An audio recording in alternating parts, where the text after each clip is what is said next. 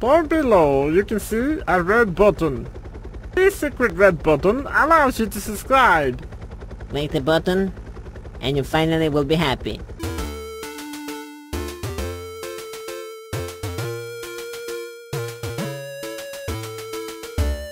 Hello there and welcome to another video. My name is Sparckman. I'm a game developer. Today I'm working with a Game Guru. I got this uh, on Steam. It was on sale, so I got it. Okay, I'm going to load my example scene. So here is the scene I created earlier. It only took me a couple of minutes to put it together. So let me show you what we're making today. So you can see that I put a door here. Uh, we are going to lock this door and uh, we're going to hide the key somewhere. So the user has to find the key in order to open the door. Let me show you the scene first.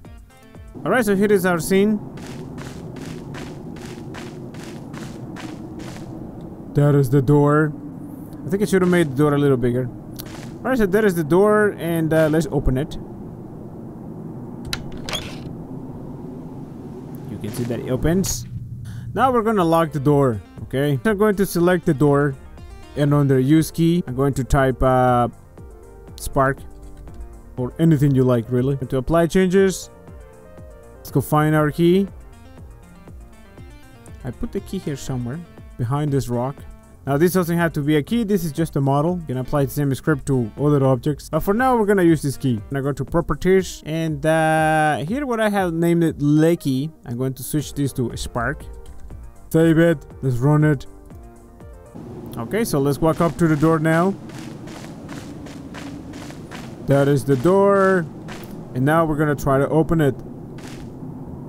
I'm going to press E to open the door and it says the door is locked I don't know if you can see the uh, the text at the bottom but we need the key. So let's go find the key. There's the key. Press E to pick it up. And now I'm going to press E to open the door because now I have the key. And voila. Whoa what is this? Oh that's not creepy Holy mackerel. Alright, so you can see that this is uh, extremely simple. There is nothing to it. Alright, thanks for watching. Uh, don't forget to subscribe to the channel, follow me on Twitter, like the video, and I will see you in the next episode.